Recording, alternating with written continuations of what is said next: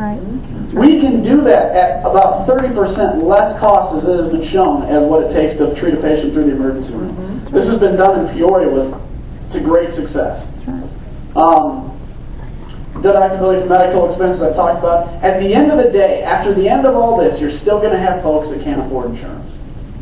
And I want to talk about prescription drugs, and then I promise we'll get to the open forum. But at the end of the day, you're still going to have folks that cannot afford insurance.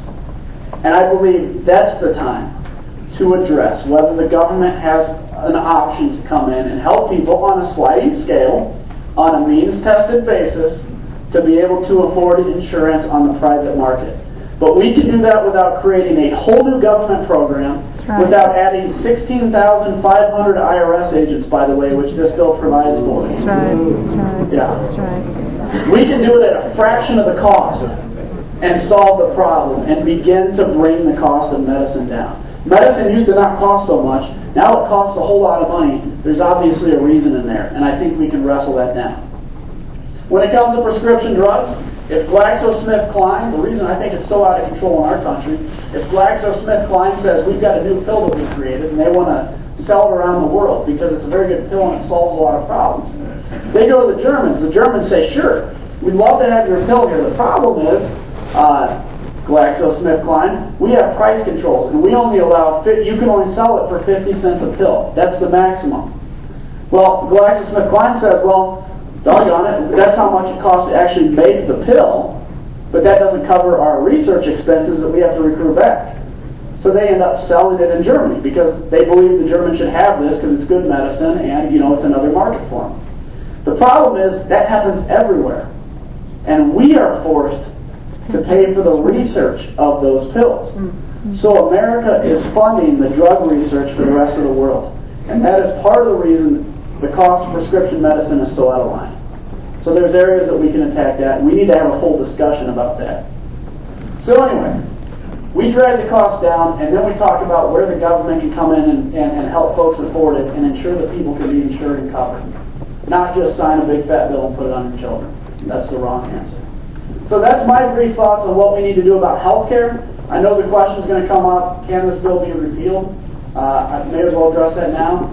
Uh, I believe it can. I'm actually, I believe that we need to repeal but restart this. Repeal and then rediscuss what we need to talk about. Okay? Um, and that's what I believe needs to happen. And I believe it can be done, but it's going to take a lot of work and it's going to take people remembering exactly what needs to happen in 2010 and 2012 to do that. Uh, but we'll talk a little more about that. I'd like to open the floor um, to anybody that has a statement or a question. And I guess we don't have another microphone, so maybe you'll just have to speak up. So back here first, if you'd like to. Um, you had mentioned something about pre-existing conditions. Yes. Um, I'm 50, just to let you know. I was born with a hole through my right lung, and I lost my job three years ago. My cold is done.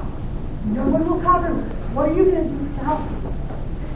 Well, I appreciate that, and that's exactly what I, I'm talking about. Is first off, I believe that we have to drive the cost of medicine down, and then provide you an opportunity. You know, insurance companies can't deny pre-existing conditions. That's part of what we want to get into. And then insurance companies being able to receive help from the government on your behalf if you can't afford insurance to allow you to afford insurance. I can afford it, I just can't find it. Ex- So if you repeal what you Well, yeah. I, I, have you looked into like the ICHIPs program at all? The high risk pool in, in uh, Illinois. That's something to take a take a look at. For deductible of five thousand dollars. Say that again. I'm sorry. I looked into, they want fifteen hundred dollars a month more than my mortgage payment to have five thousand dollar deductible, no prescription. Yeah, exactly. I understand. What. I might as well be dead going to the emergency room by the time they get oh, out into their house. No, and see, and here's the thing: is I believe that we can get to a point. That's what I've been talking about, where everybody can have insurance, but we've got to drag the cost of medicine down. Because right now, I understand exactly what you're going through. And I'm very. I, my father cannot be insured. He has a pre-existing condition. He's dealing with the exact same thing, um, and he's part of ICHIPs. I understand exactly what that is, and we can get to a point where we can make sure that there is no pre-existing conditions denied, where people can all get insured. The government can help them afford it. And by the way, if we lowered the state line requirements, it might be much easier for you to find insurance because now there's 1,500 plans out there in the country that all want to insure people. In Illinois, there's only a handful of them. So you can only right now shop around Illinois